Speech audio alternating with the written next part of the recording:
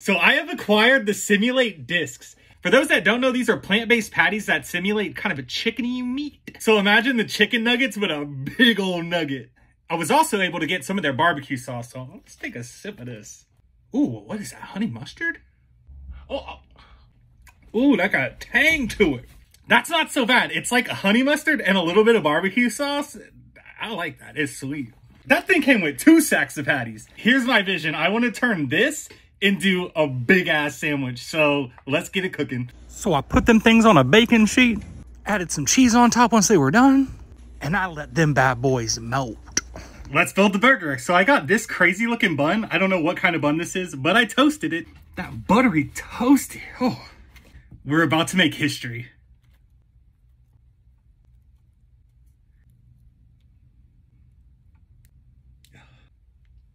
Oh God, don't, don't, don't. He's the leaning. They said it couldn't be done and we did it.